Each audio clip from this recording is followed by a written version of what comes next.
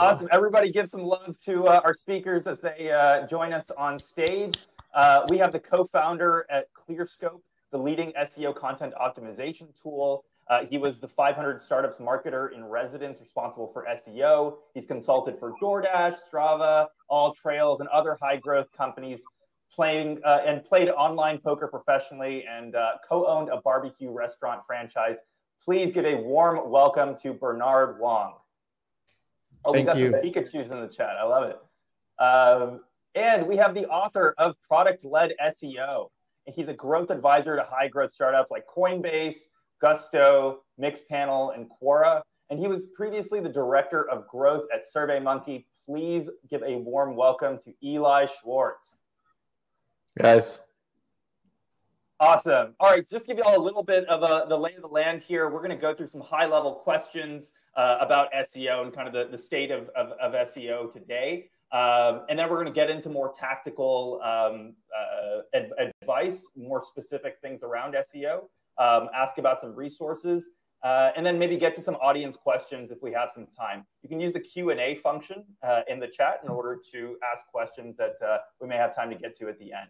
But let's go ahead and kick, kick things off. Um, at, at a high level, um, you know, when do you know that SEO is even a right channel to invest in?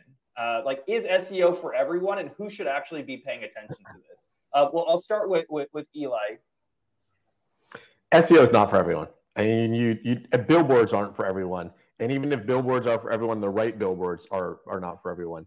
You know, there was a a company I worked for, and when I was working there, we were we were begging them to do out of home advertising, to advertise on buses and, and subways and you know those kinds of things, and they never wanted to do it. They said it wasn't worthwhile. And I was recently in New York, and they finally did take out a billboard, but 80 miles from New York City. So that that was a waste of time and completely useless. And SEO is kind of the same thing. You shouldn't just do SEO because you should do SEO. Like you would need to have like a, a user story or persona or reason someone would want to search for you and and click through and buy from you. And if they're not going to, it's like taking out a billboard 80 miles from New York City. You've checked box, but you're wasting your money you know, it again, it has to make sense. And you know, many companies that I look at that they've done SEO, they've gotten no ROI from it, and they're complaining about that lack of ROI, and that's because it's not a fit. Who, who are like? Give give me some examples. Like, who are those companies that it's just like they think it's a fit, but it's just clearly not. It's not that they think it's a fit. They it's just CMOs and heads of marketing come in and they think it's something they have to do. So they never really went through that thought process of like, is it a fit? Should I even do this? I find that B2B companies, it doesn't necessarily make sense because that's not how people buy. People buy by, you know, looking at pricing and looking at fit. They're not Googling, oh, this tool is number one on, on Google. It's going to definitely be the right thing for me. I also find that if something is too innovative, it's also not a fit because there's no demand yet. So you need to go and create that demand and then people search for you. So if you can do a bunch of SEO, and I've talked to startups with innovative solutions, and they're like, well, we're number one for our brand, or we're number one for all these things, but no one's looking. So all that money they've invested in that number one status doesn't help. Got it. Anything to add to that, Bernard? I mean, I feel like Eli Eli has hit the nail on the head. It's definitely not for everyone. I'm gonna add on to this in a more tactical sense. So at a high level, yes, it's not there for everyone. In a more tactical sense, generally I would recommend if you can't point to a competitor and say, wow, you know, they're doing really well in organic search, that's what I want to replicate. Chances are SEO is probably not for you. Another great way to understand if SEO is for you is really to just do the paid ads PPC component, right? If you're buying ads on Google, where people are searching for things that you care about, and you're just scratching your head being like oh damn i can't i just can't make these unit economics work then that's another yellow red flag that okay maybe seo is not for you and that's perfectly fine i'd say the last bit of advice since i know a lot of y'all are in earlier stages of your growth company growth i typically stay away from recommending seo for seed even Series A startups in general, because a lot of the time you're still finding product market fit. and SEO takes a long time, at least in terms of SEO, like time lengths, right? Like six months and you could be out of money. And a lot of you know SEO strategies is like six months before you start seeing any sort of semblance of growth or traction. So those are going to be what I boil down the tactical recommendations to. If a competitor is not doing a search strategy and they're really dominant in the space, you know, maybe not for you. If you're really early and you know your competitors are doing really well, still maybe not for you because it takes a long time. And if you can't make PPC work, then probably not for you as well. Well, I had to disagree with Bernard right there. If a competitor's not doing SEO, just it doesn't mean that the SEO isn't necessarily a fit. One of the things that I've seen, you know, in my years doing SEO is people are obsessed with competitors. So they copy the competitors' keywords, they copy the competitors' content, they copy the competitors' links. And you know, I, I've been in the position where acquired companies we were competing with, and they would say things like, "Well, we copied what you were doing," and I was like, "I have no idea what you're talking about." this is this wasn't intentional. This wasn't a strategy. This is I didn't even notice it worked. So I don't think it's it's good to start with the competitors as as your starting point. Sometimes they're just completely wrong. Sometimes they have no idea. Sometimes they're bad at what they're doing. I, I like the idea of really thinking about that user journey. Is the user journey there for search? And is someone going to buy from search? Doesn't matter whether competitors are doing it. You're smarter than them. Know that, and you should do it. But if there's no user journey and your competitors aren't doing SEO, maybe they are smart and they know that there's no user journey. Definitely. I agree with that. Can't always can't always believe that your competitors know what know SEO. and most of them don't. You know, I, that's what I find often is people read a book, they read a blog post, and they think they know SEO, and they don't. Which is a huge area of opportunity for people to actually know SEO and want to do this and want to buy a really cool tool like ClearScope. There we go, bringing it full circle. Um, it's, it's some really great points in there. So if it's if you're too innovative, probably not a fit. If you can't point to a competitor that's that's crushing SEO, it may or may not be a fit. I'll, I'll say that. Um, you know, if you can't use paid ads to test SEO demand, may not be a fit. Don't have product market fit may not be a fit. So those are some heuristics that uh, we can take note of um, that may make a difference. Oh. There we go. Um, let me ask you, Bernard, what do you think most experts get wrong about modern SEO? And is there any advice that you keep seeing, you know, year after year, you've been doing this for so long, um, that you just wish would go away? Oof, yeah, that's a that's a tough, tough question. I would say, as a general high level observation, I think most experts usually carve out their, their niche in a specific field or aspect of search engine optimization. So, in different eras of SEO, you would have seen the rise of the link builder guru or expert. You would have seen the rise of a technical SEO guru or expert. And nowadays, you're seeing the rise of the content strategists and um, like high level, like intent, quality content focus, like search engine optimization, see their time. And I think that the biggest mistake then I see experts make is that they cling on too dearly to the field that got them popular in the first place.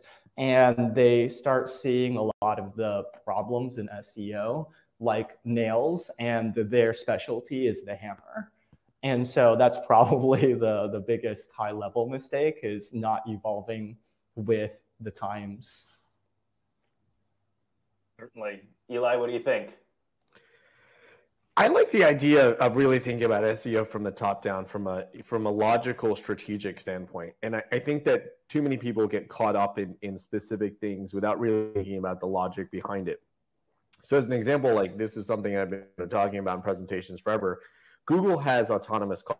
So they have hundreds of autonomous cars. They're licensed as robo taxis. They don't really do robo taxis for regular people, but they're robo taxi employees. So they drive on the street and they don't kill anybody and they do a pretty good job and they don't cut cars off. Like they behave. That's some high level. But then the same company, now when people acknowledge that, they say Google's doing a lot of smart stuff. But then they, when they think about search, you're like, well, if I got this guest post from, you know, a, a DA 90 site, I'm guaranteed to rank number one on this super competitive term against all my competitors who have actual brands. Like suddenly that logic just falls away. And the same as a technical SEO. It doesn't really matter in the big picture whether your page speed is perfect or your title tags are perfect. I very rarely see any of these technical SEO recommendations amount to actual ROI. So I don't do SEO audits. I've received SEO audits, and you know when I've given SEO audits, no one really acts upon them because you have to prioritize that effort. And you know if you say to someone, "Well, I guarantee you, if you make your site you know 10% faster, you get 10% more revenue," they'll probably do it. But if you say, "Well, your outcome for making your site 10% faster is your site is 10% faster," hard to justify the significant expense that would come from it. So I think when it comes to SEO, it's really important to think about the big picture. Like, does this matter? Do you think Google cares that much about this? Like, page speed is something that people harp so much on.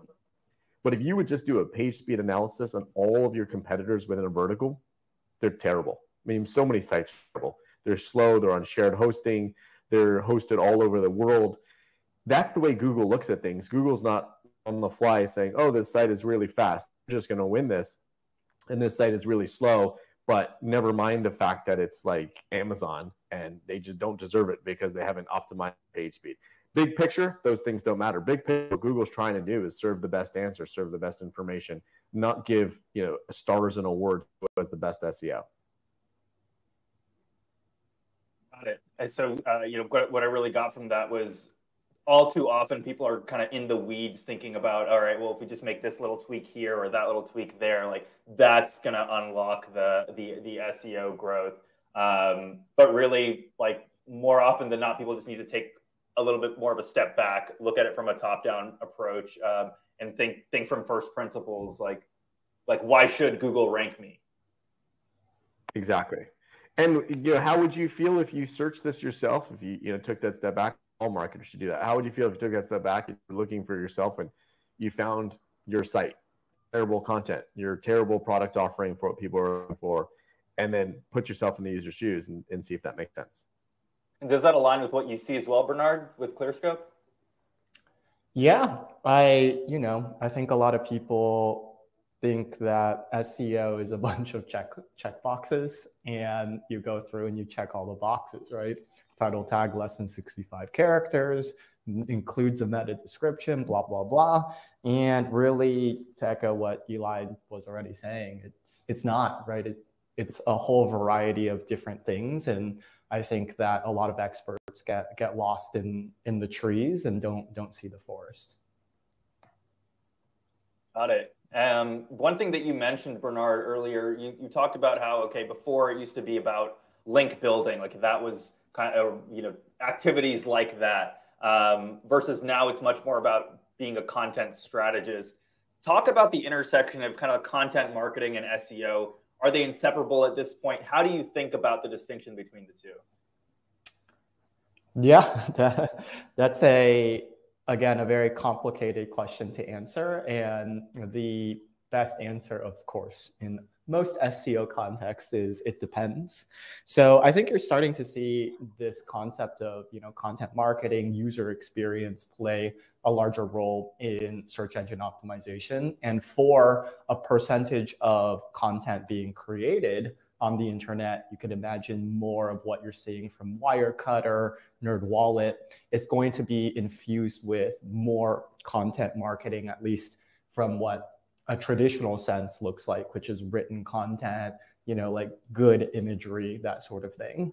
I think in the broader context of, you know, content marketing, you also have on the flip side this product-led SEO component, which is not going to look mu- as much like how traditional content marketing looked, right? It's like saying, how can we programmatically create pages that are going to be inherently useful for people searching for all kinds of different things that my product and service can fit.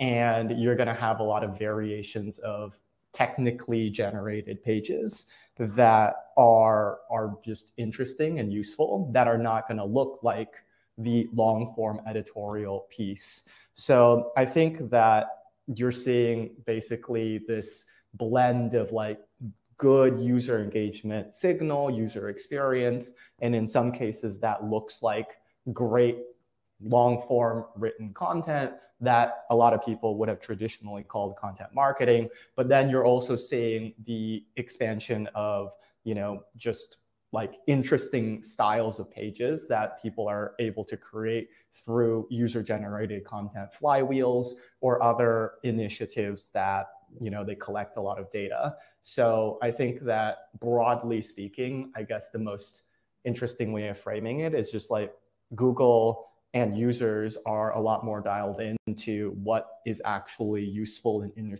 interesting content. And in some queries that means longer form great looking content.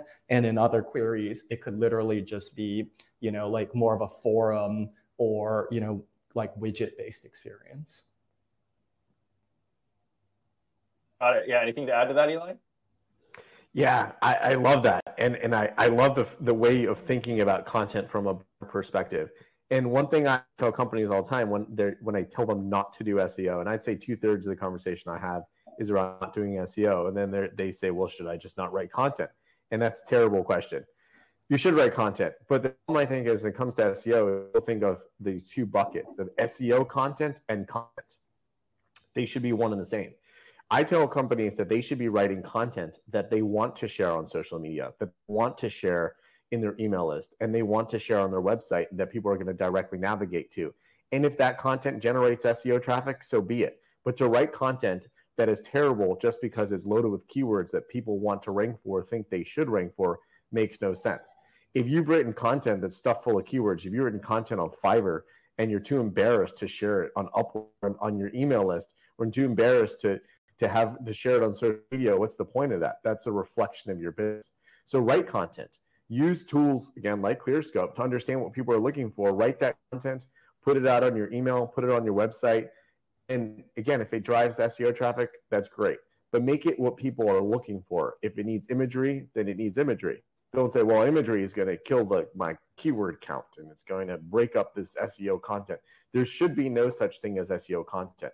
SEO is a channel to acquire users. Again, like I said earlier, if there are users there. So you don't need to do every single marketing channel just because they exist. You don't need to advertise in the Super Bowl just because it exists. You do the things that make sense for your business. And if SEO makes sense for your business, then you create the content that makes sense for your customers. And when it comes to prioritizing that content, again, I think a big mistake people make is they use SEO metrics. So they'll go on a keyword tool and they'll search by you know they'll search their primary keyword and look for keywords with the highest volume and that's how they'll prioritize the content they need to write. Instead i think they should be prioritizing content by user need. So if users don't understand how your product works that's the content you should write. If you just don't understand why you're better than your competitor that's the content you write. And if users don't understand the value prop you have you write their content. Don't focus on content that has that keyword in that the keyword tool told you a lot of people search because you're missing out you know, it, SEO should about converting traffic. And converting traffic is so much easier when it's someone searching you versus your competitor, or what's your return policy, or how fast do you ship. That's the content right. So when you're investing in content, put that first, put the converting content first, put the content that makes sense for your audience, and really don't worry about SEO metrics till later. Some, some gold nuggets from what both of y'all shared. Uh, what stood out, you know, Bernard, you really talk about think about the query like what is it that people really want? And like what is the type of content that best serves serves that query if you were to you know go down the seo route? Um, and and eli uh, I, I, like how you encapsulate look the bottom line is make the content that your customers need. Don't think so much about the volume and the traffic and all that. Like what do your customers actually need? Uh, because your content's a reflection of your business. And so those are the things that you want to actually be focusing on. Let's get more tactical here. You know bernard you talked about uh, what's an int- uh, you, you, talked about leveraging UGC uh, for for SEO. Um, like, what's an interesting example of a, of a company that you've seen uh, that's leveraged UGC uh, in, in, a successful way that you're like, oh, there's there's something to learn from that. Yeah, I mean, on on the surface, of course, you have your your key players in in the space, which has always been TripAdvisor and and Yelp, and you know a variety of those forum type stuffs, Reddit as well. Although Reddit doesn't necessarily do that well in in SEO. So I think that really there are certain queries that deserve a diverse set of opinions. And those are often going to be the ones where you see these UGC websites like performing better. To be completely honest, I'm kind of seeing a decline though in those specific types of websites to date. And they're losing to this more longer form editorial content, right? If you Googled best lunch in Houston or Austin, you're actually seeing Yelp no longer just always monopolize like the top spots. You're seeing these local food bloggers kind of rising in, in the ranks. And I think that a lot of that is maybe a semblance of this like problem that that we're facing in terms of quality content and that like okay you know most website or most um, businesses on yelp just more or less gravitate towards like a four star rating or like a four and a half. You'd have to be really bad to like, you know, be at like three or two and a half and whatnot. And what people are like more gravitating towards now is okay, I want to know how this specific local food blogger influencer like thinks about, you know, these specific restaurants. So I think that, you know, you see UGC work really well in certain pockets and then people's tastes like may change. Perhaps e-commerce is like another one of those where there's nothing like going through and reading a bunch of, you know, reviews, photos, FAQs from people who have purchased the product because then you know like, oh yeah, like that is more likely to be like janky and, and whatnot but I think that it's it's always an ebb and flow. And you know, like e-commerce makes a lot of sense. Reviews made a lot of sense, and then you know the independent food bloggers and influencers and tastemakers started creating their own like long form content to match that, and they're competing head to head with very strong authoritative websites now. Very interesting. Yeah, I didn't even realize that that was a, a, trend going on. You're seeing a decline in UGC heavy sites in certain certain categories where longer editorial content's ranking higher, particularly from like tastemakers with topical uh, authority. Um, Eli, are you seeing similar things? Do you have another example of UGC uh, user generated content uh, working well? So the interesting point is that Google actually updated this week where they're now adding discussions when relevant into search. So they're having a box where they'll pull in Quora and they'll pull in Reddit because people are looking for this kind of content. But I, a lot of times it's low quality. So you have to understand, like back in the day when there were forums and you, there, people dominated forums with opinions, Reddit and Quora and these other UGC platforms can be the same, where they're not necessarily moderated or they're moderated with incentive, like Reddit.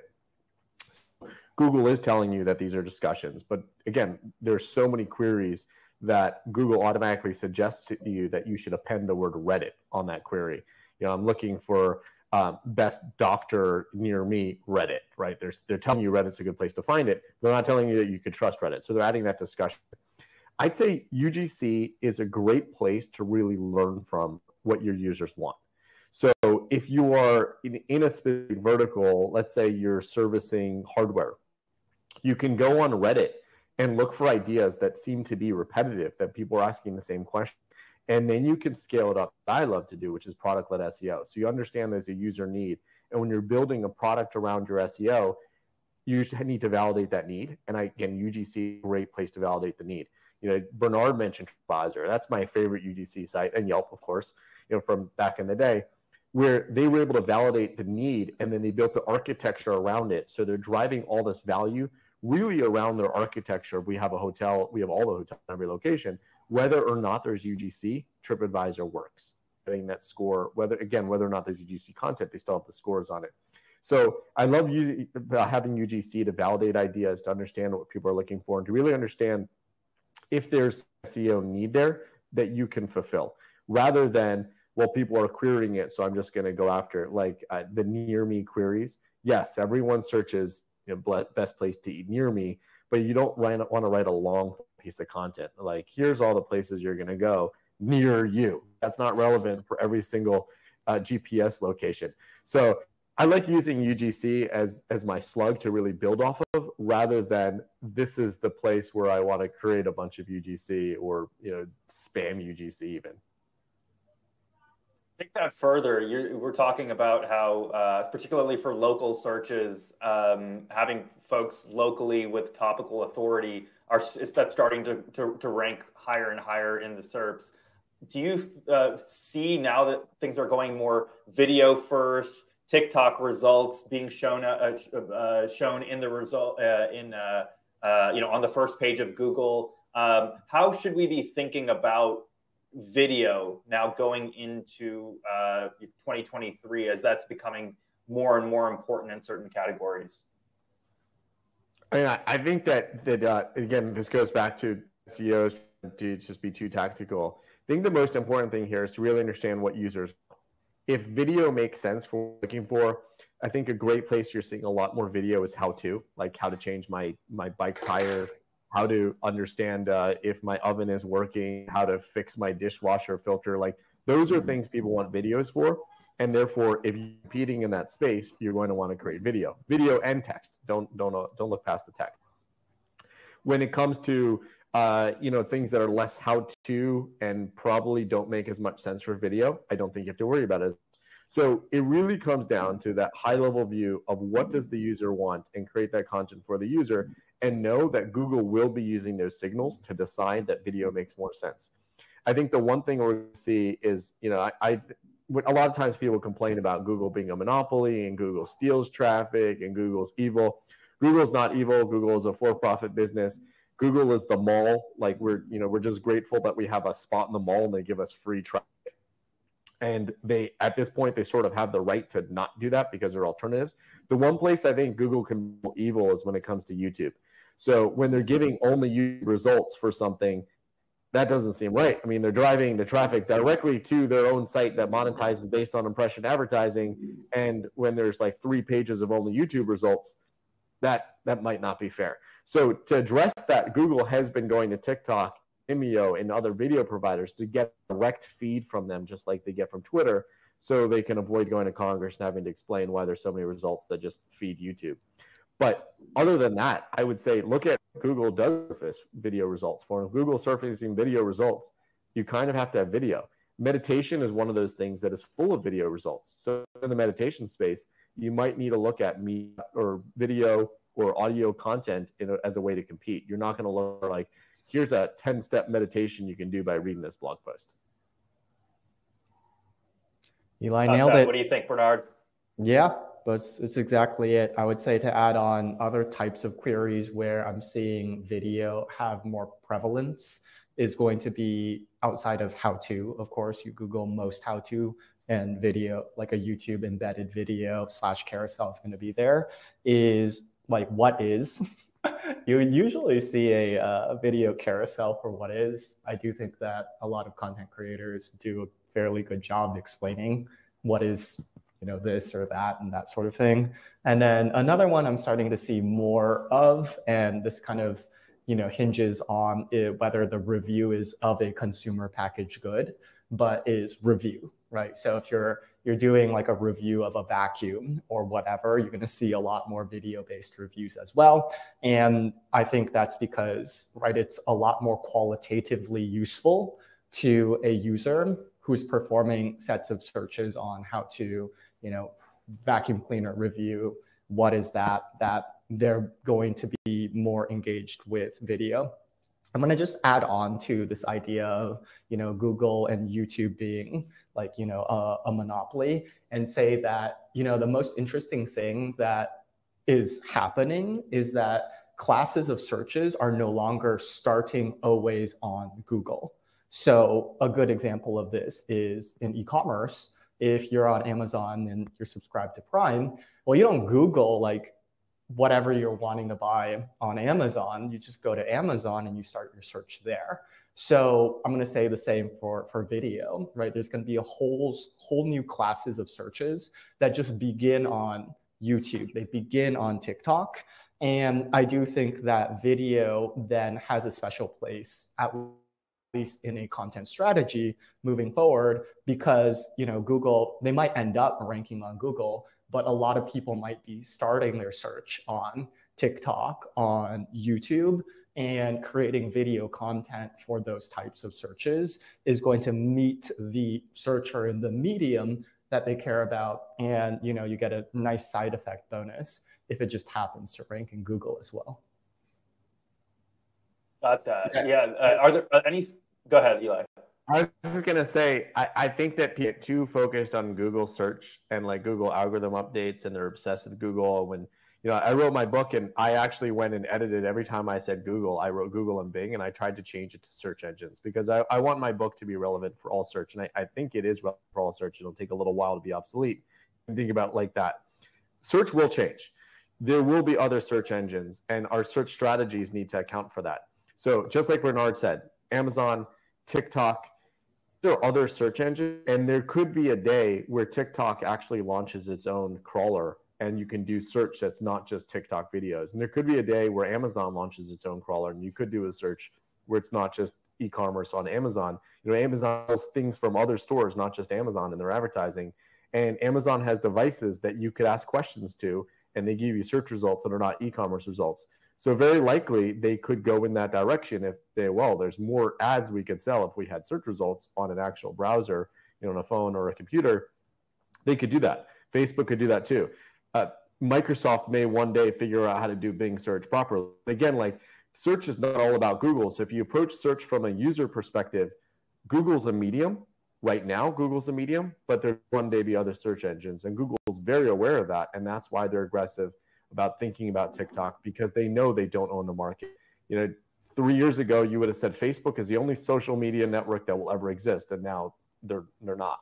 Right. So I'd say think about search the same way. Focus on the user. Focus on how algorithms want to prioritize results, and don't think about how does the Google algorithm do things, and how do I optimize against the Google algorithm, or how do I find hacks and loopholes in the Google algorithm. One more question, tactical, before we uh, hop into some audience questions. we are seeing the rise of AI generated content. That is the the topic uh, of 2022. Um, so tell me, how do you think about the role that AI tools uh, will play in the, in the content creation process? Uh, let's go with Bernard. Ooh, AI content.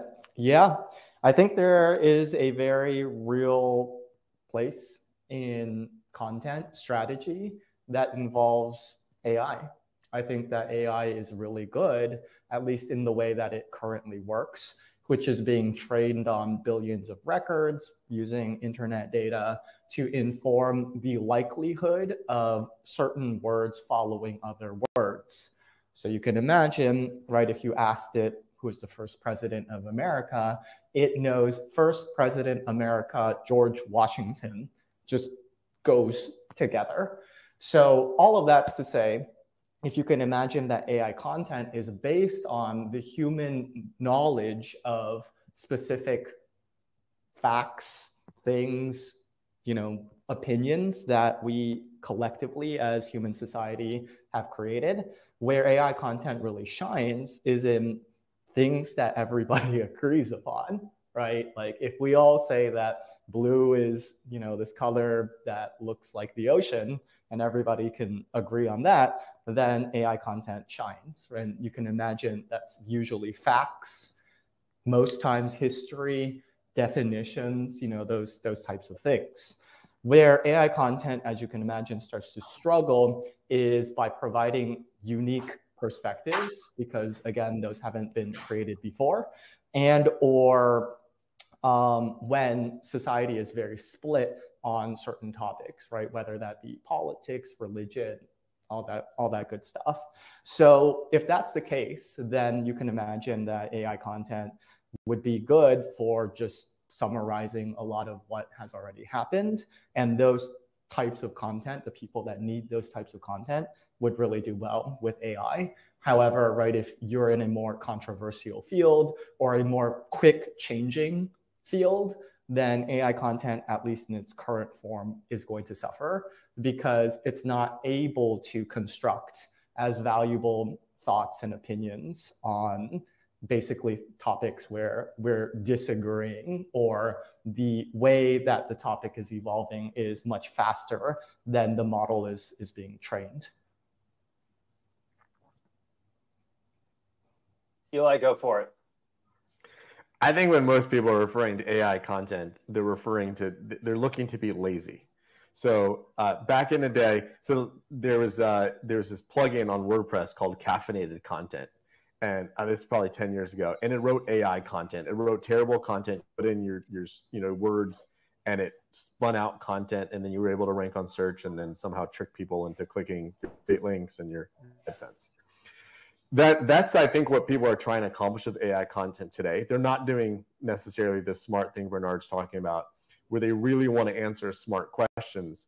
They're just trying to avoid paying an actual writer.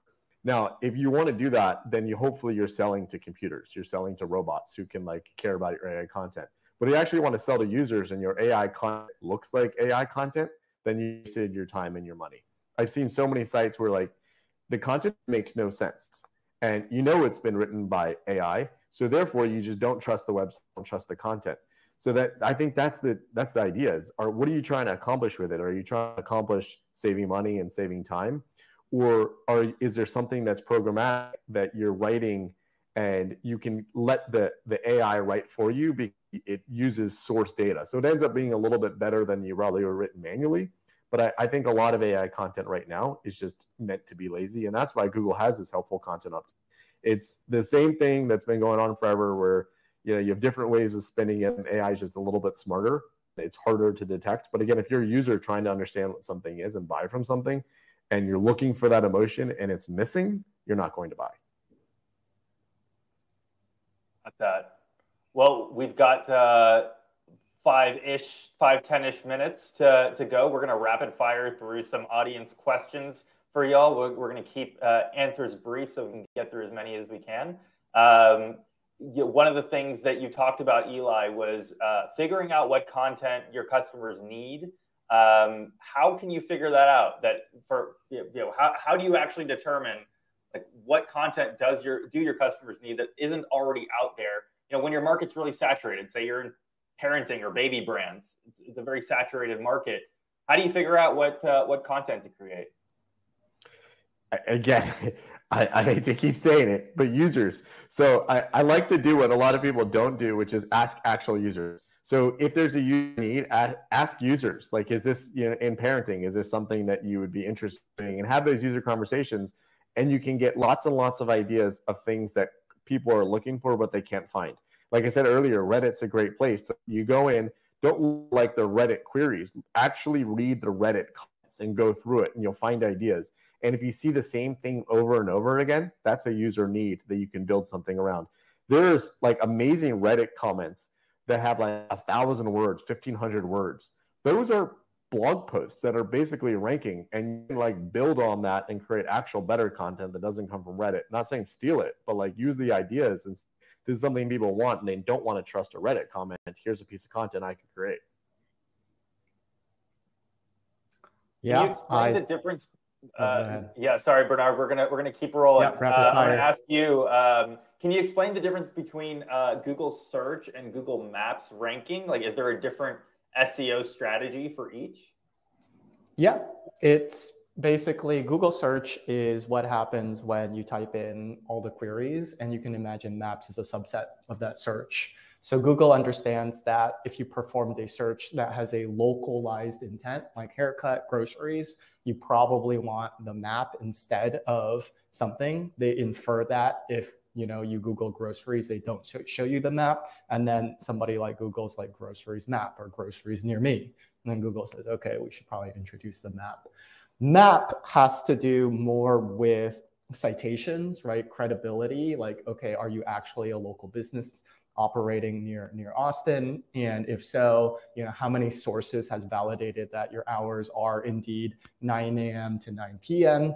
And then within that, it's based on you know whether you have a Google My Business account and you know awaiting towards reviews and overall engagement to your location when provided the in in the results. So it's a different ranking algorithm, but it is a subset of Google search. And in my opinion, it's based primarily on Google My Business reviews, how many local citations that, that you have. Localized intent, uh, match with local credibility, um, and, and through the, the medium of like Google My Business and some of those more local uh, Google options. Um, Eli, in your experience, is it better? And uh, I, I, I always, uh, I'm afraid to ask you an SEO question because I feel like you're going to be like, why are you like, why are you asking me about SEO? um, in your wrote a book on it. okay. To, is it better to invest in high authority backlinks, but in sw- smaller quantity, or to invest in, in decent authority backlinks like DR 20 to 40, but in, in larger quantity? Option C. what is option C? Neither. I, I backlinks are a total waste of time. Uh, I, I know I'm gonna get slang comments here, but Google's got 20 years of building their algorithms to detect spam. So if you're buying links just for links' sake, they can detect it. And you know, I, I've been fortunate, and then I've actually gotten backlinks from the White House three times, two or three times, WhiteHouse.gov, and those links did nothing. So I think the domain authority of backlinks don't really matter. It's really the context. And Google's algorithms said it earlier. They drive cars. Same company drives cars without killing anybody. They they can figure out backlinks are a waste of time. So invest in people. Find someone to really get your message out, and you'll get links. Some of those links will matter. Some of those links won't matter. But the more important thing is people know your business exists and they want to click on the links that you do get. If they don't count for Google, they count for something. So don't invest in backlinks. Invest in your business. Invest in your brand. Bernard, uh, Eli said some controversial things that I want to definitely make sure that you have the ability to add context to. No, 100% on board. I mean, okay, all right. The, there are some cases where backlinks like will help, especially if you're like just getting started. Right? I believe that Google's looking at a semblance of a variety of factors one of which is backlinks, another which is topical authority, or how well your content, your existing content for a certain topic is performing over time. So in the very beginning stage, when you have no content that's doing well for a topic and no authority, you know, from a backlink perspective, how can Google start to build trust in your website?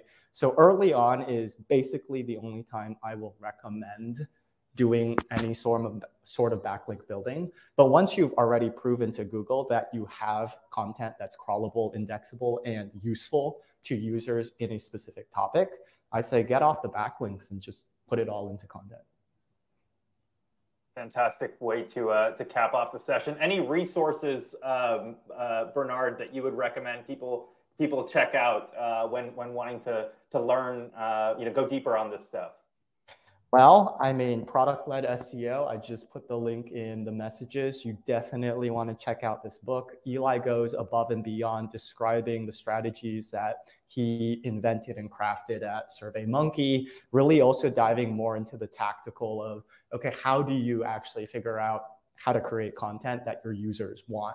And I think that a lot of the time, SEOs aren't sitting in on sales calls. They aren't looking at the common support tickets that people are writing into the help desk center. And these are points that Eli points out all the time and is like, hey, you know, this is something that is very useful. The other one that I'm going to give is just our, our YouTube channel, ClearScope. We host awesome web speakers on SEO and content like Eli every week. And we record them and we talk about all kinds of different useful, interesting things like Google EAT, what's been going on with the helpful content update. So definitely would recommend those. ClearScope's weekly webinars are awesome. They are masterclasses and they are totally free. Absolutely check them out. Definitely uh, uh, check out Eli's book. I was going to ask you, Eli, who should not read your book? Who are the who are the people in this audience that should skip your your book, and who who is it really for? Everyone should read the, my book because I think it's like six dollars on Amazon, and, and for some people, actually two thirds of people, it's going to be the only six dollars you ever need to spend on SEO. And I, I just want to be clear that like SEO is the most amazing channel and can drive so much ROI if it makes sense for you. And really, SEO is a marketing channel, and I, I think again that we go back to tactics. When people think about SEO, they think about it too narrowly and not in the context of our business. The dollars you spend, like Bernard said earlier, PPC, the dollars you spend on SEO if they're better spent on PPC, spend them on PPC. Why would you spend them on SEO? So I, again, I like to think about SEO as a marketing channel. Does it make sense, and where's it most effective? I don't want to think it very narrowly in the sense of like I need to check this box. The agency said it costs five thousand dollars a month. I'm going to pay five thousand dollars a month. It's really is that five thousand dollars a month better spent on a PR agency? Is it better spent on having another engineer? Is it better spent on PPC? So really think about it in the broad context of the business and then within SEO, where do you focus those efforts? Do you focus it on PR? Do you focus on writing more content? Do you focus on building a better product? So again, I like to think about everything high level, whether it makes sense. And you know, when I, I mentioned page speed earlier, that's something that's expensive. Where are those resources better spent? If that's the last thing that you can fix, spend it on page speed. But there's always something else and something better. So hopefully those ideas come through in the book. You know, anyone can get some idea out of it you know, read the book, and hopefully, if you don't need SEO, it's the only money you ever spend on SEO. Spend six bucks, you will validate whether or not SEO is the right fit. Uh, it's kind of a no-brainer. Absolutely recommend it. Um, Bernard Huang's product is clearscope.io. If you haven't checked it out, you absolutely must. It is the premier. Uh, if you're writing content and have any sort of SEO angle, it is the tool to use. We use it every day at Demand Curve uh, for all of our content. Absolutely recommend it. Um, check them out in the booths, the virtual booth. Um, I know there's a, a, special that ClearScope has going on uh, for, for some free reports if you want to, uh, to pop in there. Um, where can people uh, reach out to you? How can they connect to, uh, with, with, y'all after after the summit? They want to keep going down, learning more about uh, the Bernard and Eli verse. Well, I also want to shout out ClearScope. ClearScope is the best tool I know for really understanding what users want. And you're writing manual content, not you're not writing AI content. You understand the and you write for them. Absolutely. How can people get in touch? Uh, I dropped my Twitter in in the messages. I think that'll be the easiest place for me to to connect with y'all. If you have questions, thoughts, things, you know, feel free to at message both me and Eli unsure, you know, we'll either debate it out or have interesting viewpoints that you you can you can have. So I know we didn't get around to all the other Q and A's, but you know, ping ping me on on Twitter. Is that also a good place for you, Eli? So Twitter, LinkedIn, my website. I drop my email address. last thing I would say on finding me is SEO is about this complete visibility for you. So it show up however you show up. So I don't need to tell you to like, you know, go specifically to my LinkedIn. Google me the places I want to show up and have visibility. Those are all, all there and I trust them all. Fantastic. Uh, what, a, what a great way to end. Uh, well, thank you all both so much uh, for spending your time with us today. Um, this was super. Gen- drop, drop some love in the chat. I want uh, get, give back to the, the speakers who just uh, were so generous with their with their time here. I mean, I learned a lot. Um, thank you very much. Uh, uh, Eli has has abandoned Bernard and I. We, uh, you know, we're, we're Texan uh, Texan boys. Bernard is in Austin, and I'm in Houston, and Eli just uh, uh, abandoned us for for California. But we're not gonna gonna hold that against him. Um, for you know, just because he gave such a great session, we'll we'll let him slide. Thank you. Awesome. Yes, appreciate you both. Uh, I will see you both backstage. We're going to start the uh, next session at the top of the hour. Bell Curve's VP of Marketing, Raf, will be uh, kicking off that uh, on newsletter growth.